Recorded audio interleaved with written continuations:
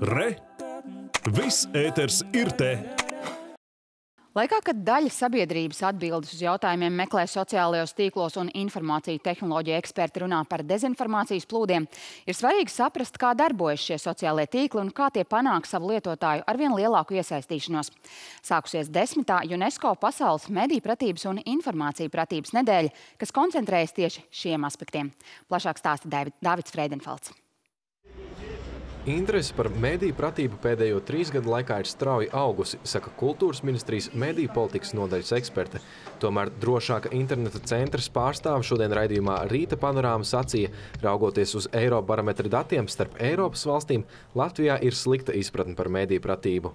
Tas ir šis zināšana līmenis, jo, kā es teicu, mediju nav tikai kādas atsevišķas prasmes, tas ir mūsu kopējā kritiskā domāšana.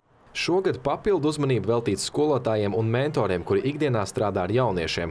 Pasaules mediju pratības un informāciju pratības nedēļas ietvaros Latvijā notiek seminārs, kam pieteikušies 407 pasniedzēji. Mērķis – palīdzēt saprast, kā darbojas sociālo tīklu algoritmi, īpaši jaunajās lietotnēs. Katru otro gadu parādās kāds jauns sociālais tīkls. Jauniešiem vien aktuālāks bija Snapchat, ir TikToks. Šīs platformas izmanto nemanāmas algoritmiskas darbības, filtrē saturu un pielāgo to katram lietotājam, lai tas aplikācijā uzkvētos pēc iespējas ilgāk, skaidro eksperte. Ik katram svarīgi to apzināties. Tāpat nedrīkst aizmirst par ziņu atsaucēm un avotiem. Šis virsraksts jau ir sensacionāls ar izsaukuma zīmēm, uh, lielajiem burtiem, tad jau tas mazliet kaut ko norāda. Semināra dalībniece jaunatnes lietu speciāliste stāsta, tikai katrs piektais jaunietis ir pārliecināts par iegūtās informācijas avotu. Novērots to, ka viņi ir tikai telefonā, viņi skatās kaut kāds video, un kad uzdod jautājumus, vai viņi zina, vai tā ir patiesība, vai tie ir meli, tad viņi pat īsti nemāk atbildēt.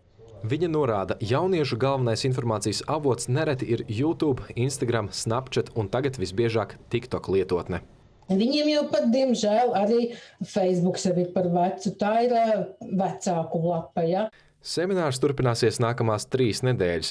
Pasniedzēji iegūtās zināšanas izmantos, lai jauniešiem veidot mediju pratības stundu, taču ikvienam interesantam šo ceturtdienu un piekdienu būs iespēja vietnē Facebook vērot Nacionālās elektronisko plašsaziņas līdzekļu padomas konferenci par mediju pratību. Dāvids Fredenfelds, Latvijas televīzija.